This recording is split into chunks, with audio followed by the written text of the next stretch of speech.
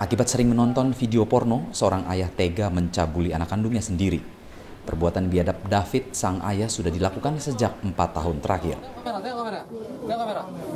Petualangan David akhirnya terhenti saat dirinya diringkus oleh tim Pegasus Polsek Delitua saat sedang berada di dalam warung internet di Jalan Flamboyan Raya Medan, Tuntungan. Menurut pengakuan, David tega mencabuli anaknya karena sering bertengkar dengan istrinya dan melakukan perbuatan bejatnya saat istrinya sedang tidak ada di rumah. Pengakuan dia. Apa alasannya? Silakan.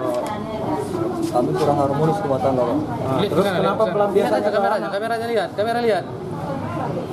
Lihat aja kamera itu. Kenapa pelampiasannya hilang itu. Silam salah salah pak ada kau ancam anakmu Tidak ada pak serius? Itu anak-anak sendiri? Iya. Kok tega beberapa kali melakukannya uh, yang saya berayangi tiga kali pak. Yang saya masukkan dua kali pak. Itu kau sekap anakmu? Enggak pak. Jadi nggak ada perlawanan anakmu? Enggak ada pak.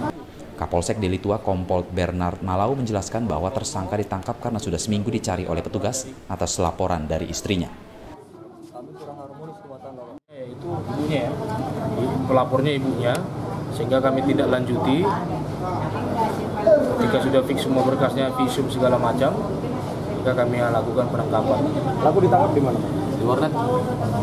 Jalan Flamboyan itu pada saat itu melarikan diri atau gimana?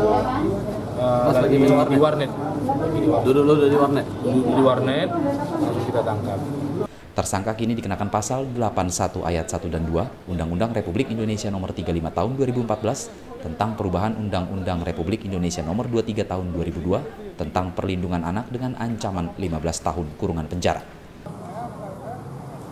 Dari Sumatera Utara, Abdul Meliala, Tribrata TV, Salam Tribrata.